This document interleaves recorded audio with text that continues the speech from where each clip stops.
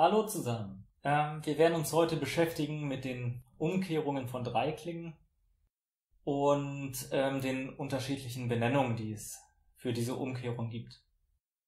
Wir starten mit dem uns schon bekannten C-Dur-Dreiklang in Grundstellung.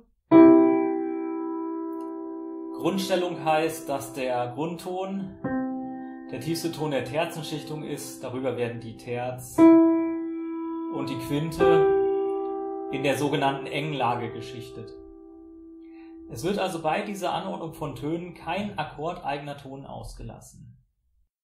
Wem dieser Lagenbegriff nicht sagt, kann sich gerne die ersten fünf Minuten meines Videos zu diesem Thema zu Gemüte führen. Selbiges verlinke ich in der Beschreibung. Von diesem Dreiklang kann man sogenannte Umkehrungen bilden. Für die erste Umkehrung oktavieren wir den Grundton nach oben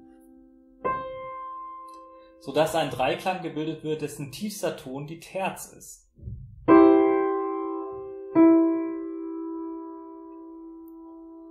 Gleichzeitig wird damit das Prinzip der Terzenschichtung verlassen. Über dem tiefsten Ton wird bei der ersten Umkehrung eine Terz gebildet und über dieser Terz wiederum eine Quarte. Das Rahmenintervall dieser ersten Umkehrung in enger Lage ist die sechste.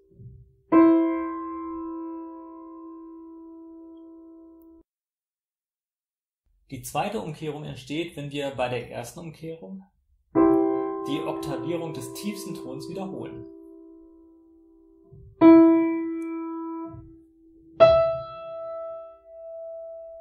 Somit wird die Quinte des Dreiklangs zum tiefsten Ton der klanglichen Gestalt, über der zunächst eine Quarte gebildet wird und über dieser Quarte liegt wiederum eine Terz. Das Rahmenintervall ist wie bei der ersten Umkehrung in dieser engen Lage die sechste. Neben den etwas umständlichen Benennungen der ersten und zweiten Umkehrung haben sich folgende Begriffe etabliert. Zum einen kann man dem Dreiklangston folgen, der an tiefster Stelle liegt. Die erste Umkehrung heißt dann C-Dur mit Terz im Bass. Ihr merkt, dieses Terz, Quinte und so weiter bezieht sich immer auf die äh, Grundstellung und die zweite Umkehrung entsprechend C-Dur mit Quinte im Bass.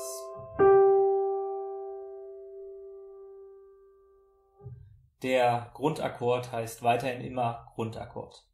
Darüber hinaus kann man noch Begrifflichkeiten aus dem Generalbass verwenden.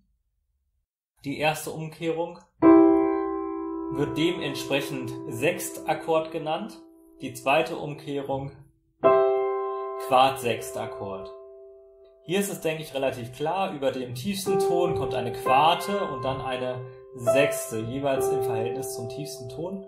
Beim Sechstakkord könnte man sich fragen, warum heißt denn jetzt nicht Terz-Sechstakkord und so. Wie es der Zufall will, habe ich auch hierzu ein Video äh, gemacht und wer genauer darüber Bescheid wissen möchte, wie es zu diesen Bezeichnungen kommt und auch zu anderen Akkordbezeichnungen, die aus dem Mineralbass kommen, ähm, der klickt auf den entsprechenden Link unter dem Video.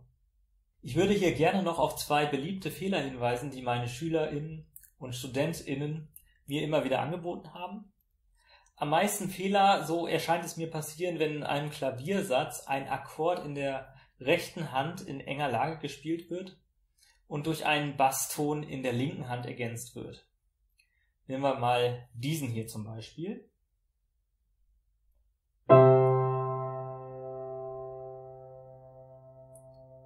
Betrachtet man lediglich die rechte Hand, so sieht man unsere eben gebildete zweite Umkehrung von C-Dur. Der Bass aber steuert einen zweiten Grundton bei, und da dies der tiefste Ton ist, steht somit auch der ganze Akkord in Grundstellung.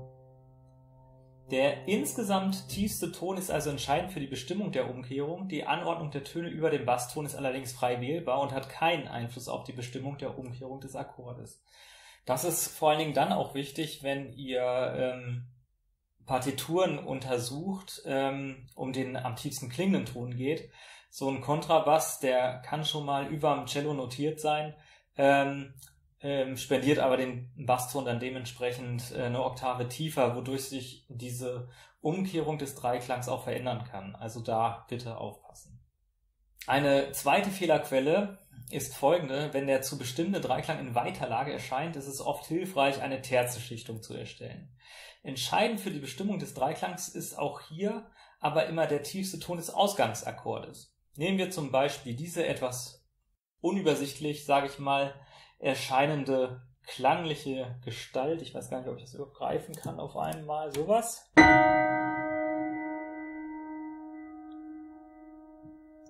Und formen diese in die Terzenschichtung um. Das wäre folgendes. Oder in angenehmer lesbarer Lage sowas. Wie man sowas ähm, umformt, erkläre ich in einem weiteren Video. Auch das ist natürlich unten verlinkt. Ähm, die Terzenschichtung bildet gleichzeitig die Grundstellung des Akkords. Unser Ursprungsklang ist aber keineswegs eine Grundstellung. Die Terzenschichtung liefert uns einfach eine übersichtlichere Darstellung, die uns bei der Bestimmung vom Grundton, das wäre H in diesem Fall, und Tongeschlecht helfen kann. Das wäre H-Dur. Mm, um die Stellung des Ausgangsakkordes zu bestimmen, dürfen wir sie aber natürlich nicht benutzen. Hier müsst ihr euch die Frage stellen, welcher der Töne des Grundstellungsdreiklanges, also Grundton, Terz oder Quinte, im Ausgangsklang im Bass liegt. In diesem Fall ist es das Dis und dementsprechend die Terz von H-Dur. Und also handelt es sich hier um einen H-Dur-Dreiklang äh, mit äh, Terz im Bass oder eine erste Umkehrung oder auch ein Sechstakkord. Das war's von mir. Ich hoffe, dem einen oder anderen hat dieses Video ein wenig geholfen. In diesem Sinne wünsche ich euch alles Gute.